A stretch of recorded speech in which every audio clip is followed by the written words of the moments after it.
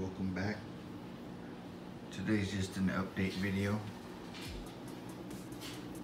Show you how my frags are looking. There's my decorator crab over there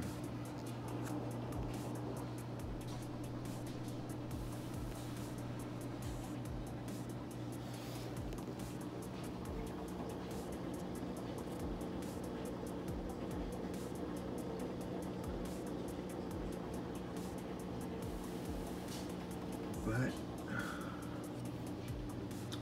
there's the piece I cut back there. It's already wanting to come back out. There's another piece there attached. That's another one I cut.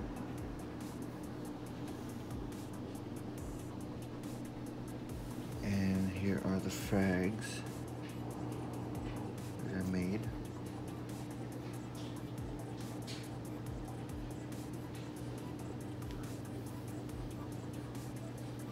So that piece on the ground right there, I blame that on the decorator crab. I think he's breaking off chunks of this piece here.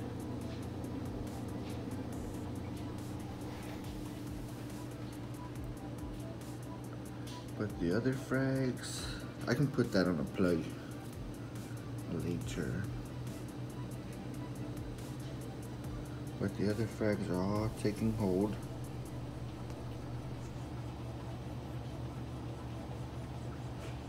They go through a little stage where they develop a film over them.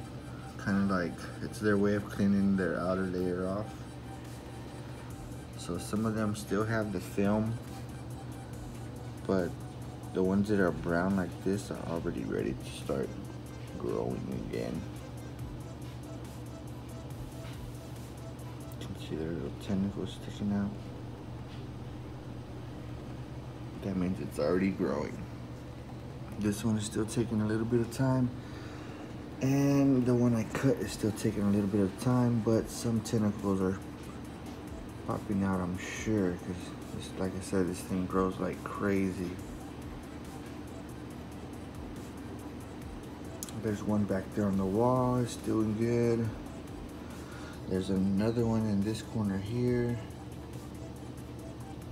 It's doing well. I want to fill up the corners with the cabbage leathers. Just because that's the harder to clean spot. So I figure if I have a coral there, at least it justifies, you know, it'll suck up most of the nutrients as well instead of the algae it'll be easier to clean, bottom line.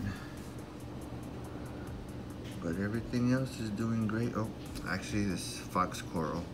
I don't think that's gonna make it, but we'll see what happens. There's a frag that tipped over right there I need to fix. But everything else is just fine.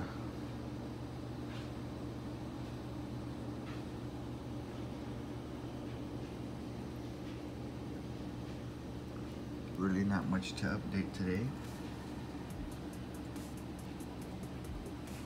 I did install that one fan there so that it blows underneath all this little sediments to the front here. So when I do my water change, I just siphon out all that there. And it should be good. Once these start growing, I'll start clipping them and attaching them to the tree in the other tank.